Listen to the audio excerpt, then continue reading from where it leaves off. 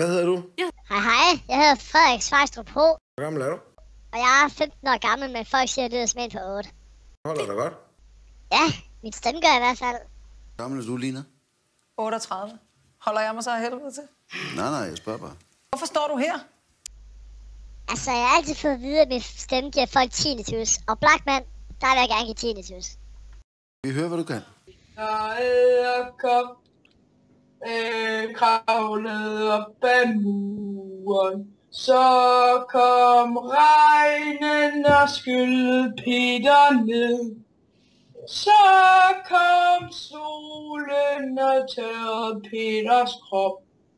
Lille Peter æderkop kravlede atter op. Um, jeg kan fornemme, det gik rigtig godt, så synger jeg lige en sang mere. Nej, det er fint nok. Han kører ud med pakker, brev i store stakker.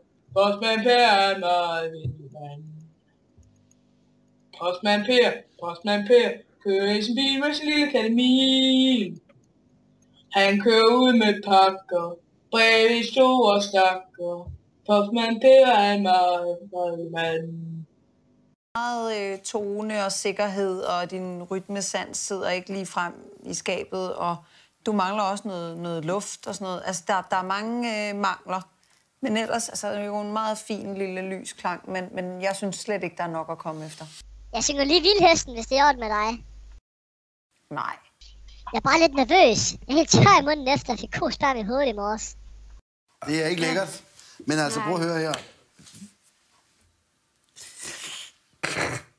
Dit, dit univers er jo helt vildt pubertært for fanden søde kvindemenneske.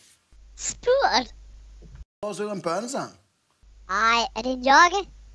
Så det hænger ikke sammen. Det er uovervejet, det er fantasiløst. Vi kan ikke føre det til tops.